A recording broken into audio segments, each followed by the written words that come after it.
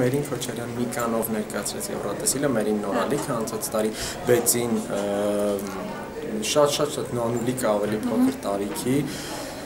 Իսկապես շատ են հիմա գուցե չեմ մտաբերում որ ոմանց անունները, կարծում եմ կա մի կորիզ, որոնք իսկապես լավ են աշխատում ու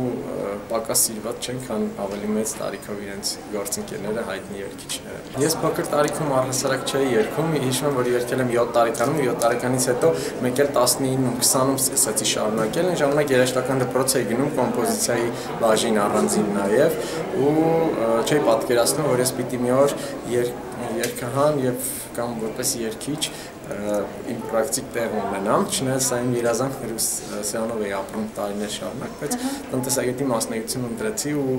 մտքով չանցնում որ ամբողջապես արմատապես կընկրմվեմ հայ այս ոլորտում, ստացվեց այդպես, ինչի համար ես ուրախ եմ, որովհետև կարողանում եմ վաստակել իմ սիրած գործով։ Մասնակցությունը հերոստա նախագծերին ու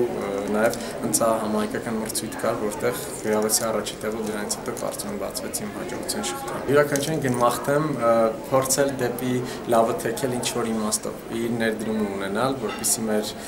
երկարպես լինի ավելի որակյալ ու իսկապես ավելի հետաքրքիր։